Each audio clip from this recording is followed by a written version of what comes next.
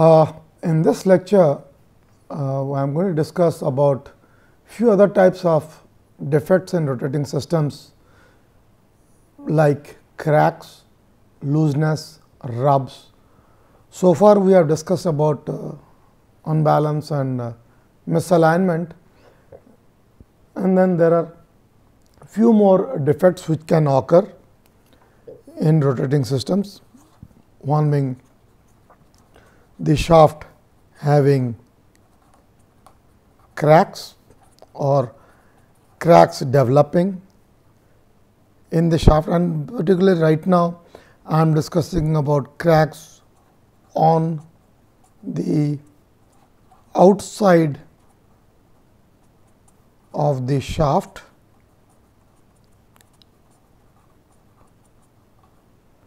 By the way uh, I will pose you another problem here.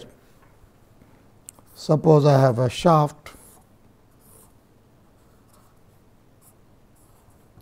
and there was an internal crack. Okay. So this internal crack uh, will also influence something. Uh, we sometimes may not be able to visually see it, but then cracks which have shafts which have cracks on the outside with uh, very visual inspection. We can see it, but I will tell you in this lecture how through vibration monitoring we can detect such cracks and such cracks which are internal we will again talk about another technique on NDT and ultrasonics, where such internal cracks can be detected. And as you all know, these shafts carry many components like impellers, pulleys, gears. So, some of them can become loose. So, looseness of the system also will influence the vibrations. Another kind of related is rubs, like uh, some component is rubbing against a rotating shaft.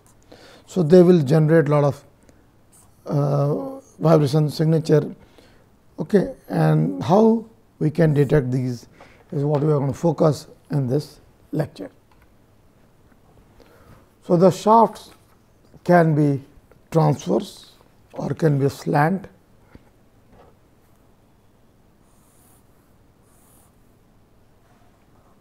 or okay. And so we will see um, through many methods how such shafts can be detected due to slant crack due to torsions due to bending etc we will see. So, in the laboratory again uh, the same machinery fault simulator, wherein if you will see here we have a shaft and this black disc is actually a disc which is used to load the shaft. And the shaft is actually simulated with cracks. There are those two flanges you know, aluminum flanges. And if you see there are these four bolts. And if I remove all the four bolts, the two shafts will come apart. And if I join them, the two shafts will be a, formed into a single shaft. So, by loosening these bolts, I can simulate cracks into shafts and this kind of experiments or simulations were done in our laboratory. And these two you will see are the signal conditioners being used for the accelerometer and the signals were eventually picked up in a data logger wherein they can store the data. The reason is today a lot of numerical techniques also exist what is known as by the method of finite element method. People have analyzed rotor bearing systems with crack present and done, I mean they have done for rotor bearing system which is of importance to us, they are done for beams, um, columns having cracks. It is this response which we measure from such systems and the characteristics of this response.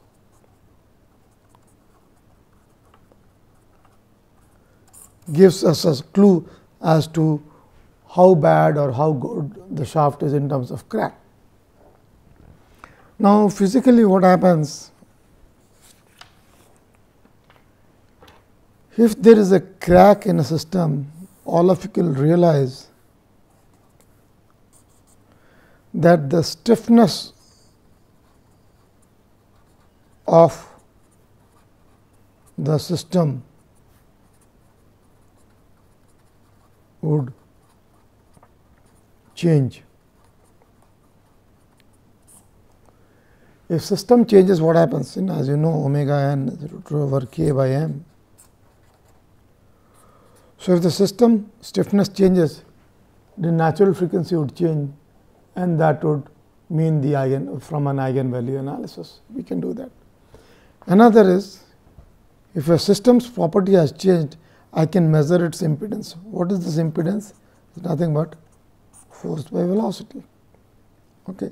So, for a system, I can give a known force F, I can measure the response V. Okay. Obviously, for a rotating shaft, this has to be done on the bearing housing. Okay. So, about two decades ago, you know, we did this research at IIT Kharagpur in our laboratory, wherein we measured the mobility okay, of this shaft crack. So, let me explain you what this is here. This is a shaft where we artificially made a crack and then we have measured the mobility. So, if you look at the experimental setup here, of the motor coupling a shaft with a disc and we introduced a crack here at some distance and uh, we are giving a force through a electromagnetic exciter and then uh, we are measuring the response with an impedance head. But the, I, I, talked about uh, the accelerometers but then there are also piezoelectric devices which can be used to measure the force. So, these are known as force transducers and there are devices known as impedance heads where I can measure simultaneously force and vibration or acceleration and I can measure the impedance. Okay. Once I have the acceleration in terms of uh, acceleration, velocity as you know is a by omega. So, I can find out the velocity. And impedance is f by v or mobility is v by f inverse of.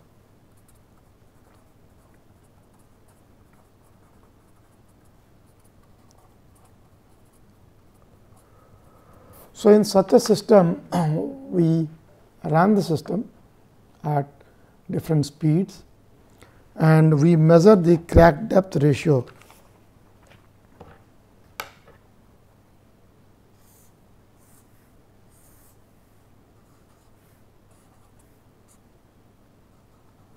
this is the shaft diameter d sum a. So, alpha is nothing but a by d. Okay, for such crack depth ratio, this has been normalized, we measured the change in the mobility and this was uh, uh, published in 2002, yeah, almost more than uh, one and a half decades now. Uh, a very popular work which we had done then and still being followed by many researchers throughout the world. So, you see the variations in the mobility ratio the change in the mobility to the original mobility with different crack radiuses okay, at two different speeds. We can see that, right? 120 degree at 40 degree and so on. Okay, and this gives an idea as to if a crack has occurred. So, a system which is running and uh, initially in CBM, if you had taken the care to measure M 0 new system. So, at periodically if you measure M alpha at any given instance, of course, it requires certain extra instrumentation for measuring force and the velocity. So, you can do m alpha and then plot. So, at whenever the crack depth has increased considerably, the uh, effect is large, but you know we cannot afford to have a very high crack depth because the system strength would have reduced significantly. Otherwise, uh, there are cases wherein cracks have occurred in shafting systems and then they fail. Another failure occurs because of the torsional variations, particularly in many of the torsional failures.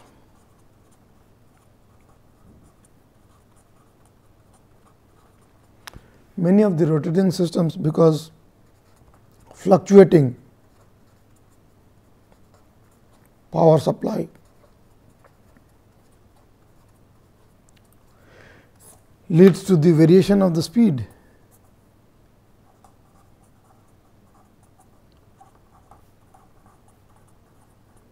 On top of it, if there is a crack, this will lead to an immediate uh, failure of the system.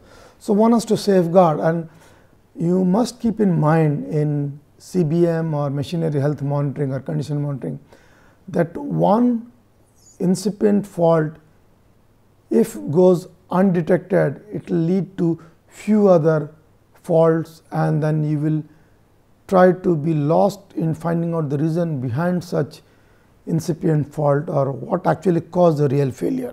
Okay. So, one has to be uh, be careful and nowadays in condition monitoring research throughout the world, people are finding out methods by which they can find out incipient fault be it in bearings, be it in gears, be it in shafts and that is the thrust area today. So, this rotor system with transverse crack was modeled by finite element methods and this is that normalized uh, distance A. So, alpha is A by D or A prime A, bar is A by D and so on. So, this could be modeled in the techniques of finite element method and then for a transverse crack some of the breathing modes are there it will change with the rotation of the shaft and these cracks will open and close depending on what position they are. So, these kind of signature will lead to the changing in the eigen frequencies of the crack because I was telling you the natural frequency would change because of this factor k by m. So, for the present case or for the example which I showed you, uh, this is for somebody those who are doing research in this area, those uh, faculty members or students who are attending this course and would like to know more about this, they can refer to our paper which happened in 2002 in Journal of Acoustical Society of America. And uh, these are some of the examples in the laboratory. We took a shaft of 2 centimeter diameter, length 50 centimeter of a steel shaft. Uh, we had a disc mid span and the crack location was varied and the crack depth alpha bar was varied and the bearing stiffness was assumed to be constant. Force was of 15 Newton for a duration of 0.1 seconds and then we varied the operating speed and found out the um, eigenvalues, uh, eigenfrequency and so on. But uh, one comparison I must give you between the transverse crack and slant crack and what is the phenomena because of the opening and closing, effect on the eigenfrequencies, steady state response, transient response and response to impulse. So, crack beads with a frequency equal to the rotation shift and slant crack breathes with a frequency equal to the torsional excitation omega t. Eigenvalues reduced due to crack significantly, but reduction in eigenvalues due to crack is relatively less in the case of slant crack. And most important is the steady state response shows the characteristic features of 1x, 2x, 3x components of the frequency equal to the rotor of uh, rotor speed, whereas in the case of slant cracks we will see sub and super harmonic frequencies. So, you will see fractional frequencies of some fraction of 1 x and so on in this spectrum. Now, in transient you know as opposed to if you recall again just this these classes sometimes I, I recall whatever I would have studied uh, or taught you earlier in terms of signal analysis.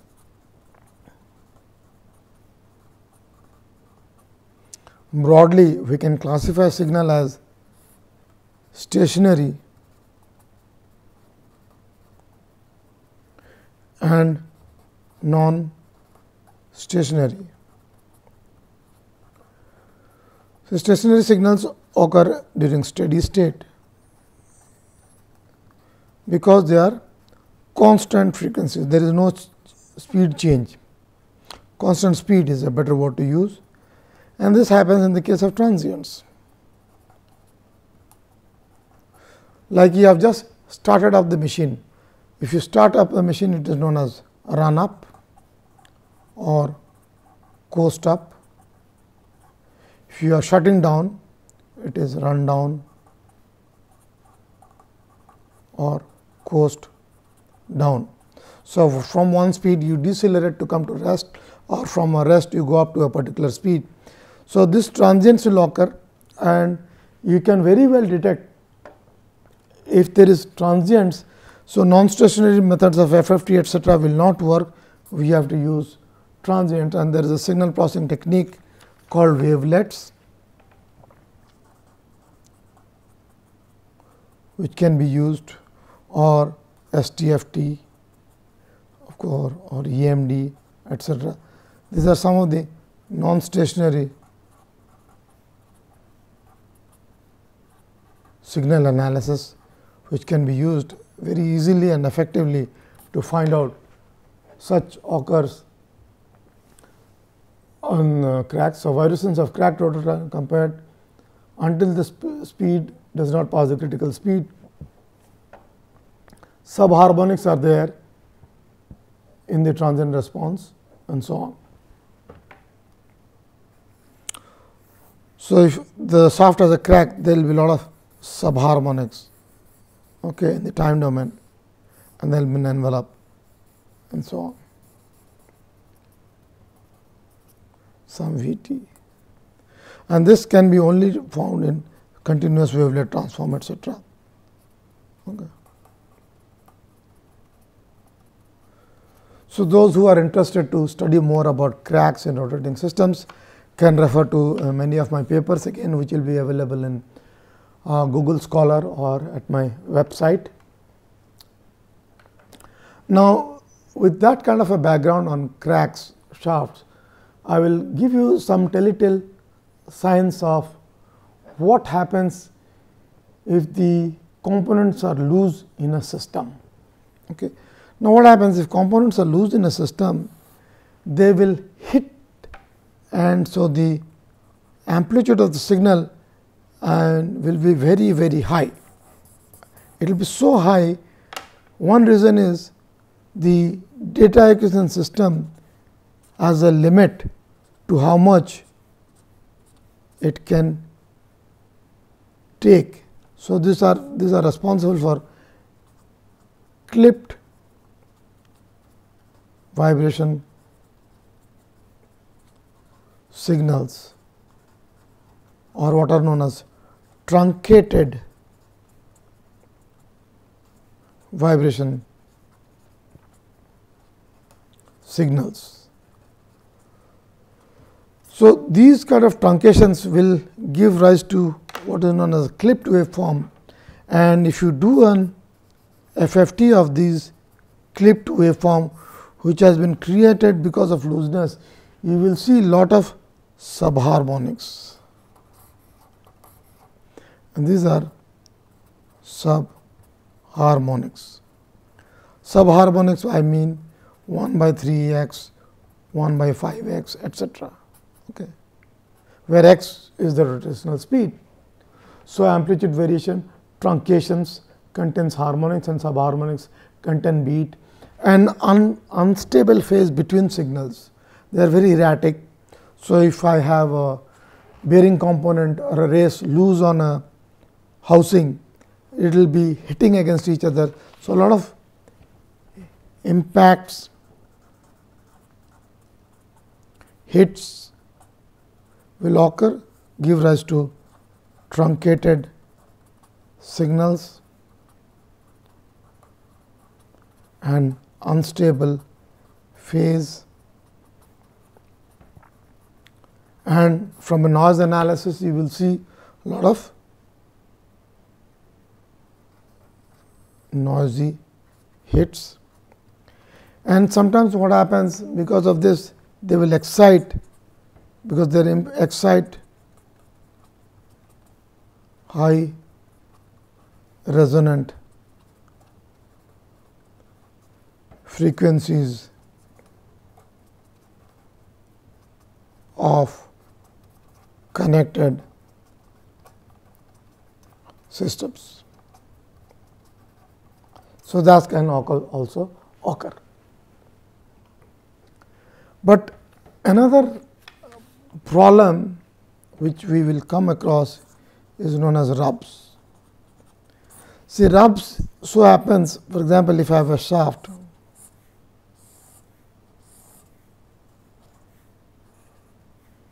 particularly this has lot of effect. For example, if I have a rotor of a motor inside a stator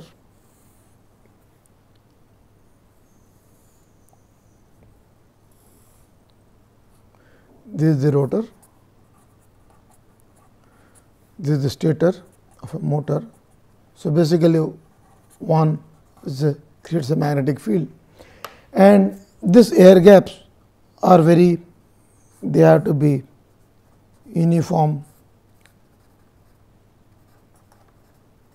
air gap that gives the magnetic reluctance and then the rotor moves because of the magnetic field that is a different story. But imagine if these bearings which are holding them have a large radial clearance.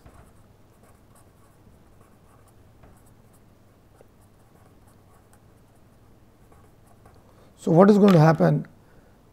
It may happen, this may drop down. So, there will be a strong contact, contact while rotating. So, this is a rub. So, as if something is rotating and then you are pressing onto it. Okay. So, this will generate what is known as high frequency excitations or also some squeaking noise, squeaking or streaking noise.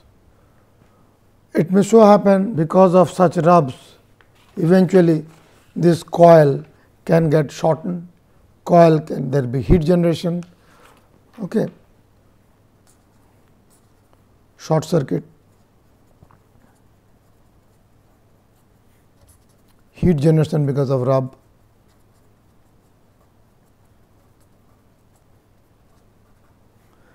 and eventually damage, it could be structural damage. Imagine you know you are talking about a large turbine with many sets of blades and vanes.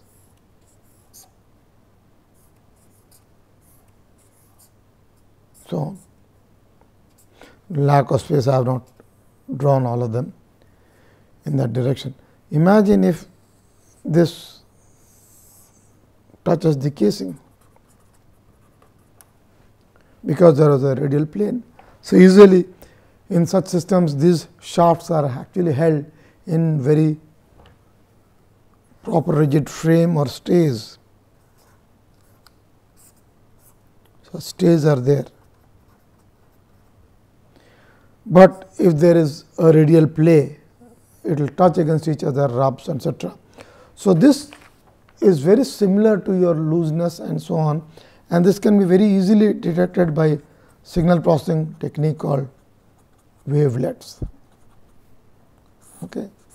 So, wavelets happen gives rise to time varying oh sorry frequency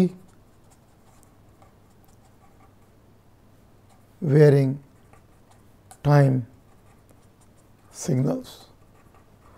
So, this calls for non-stationary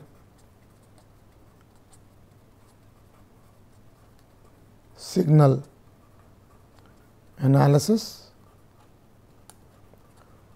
to find out the faults in such systems. And if it was a once per rotation contact, you can see the impact once per revolutions and so on. And while we talked about stroboscopes, I had given you an example how detection of looseness can be done using stroboscope if an engine accessories belt is slipping etc. and noise analysis can be used to find out defects. So, analysis of impact or rub vibration signals are non-stationary in nature, conventional FFT is not appropriate, non-stationary signal analysis like STFT or wavelets need to be used. So, sometimes wrong interpretation of rub and looseness signals people you know call them as uh, unbalance and misalignment, because no everybody does not have access to non-stationary uh, signal analysis tools, uh, be it signal processing or be it analyzer. So, this can happen in the industry. Uh, nevertheless, uh, they are non-stationary and we have to use certain advanced signal processing techniques like wavelets and of course, recently uh, our group has uh, find out the technique of empirical mode decomposition to analyze uh, non-stationary signals and this can be used for finding out faults like rubs or looseness in systems or in fact cracks as well. Okay. Thank you.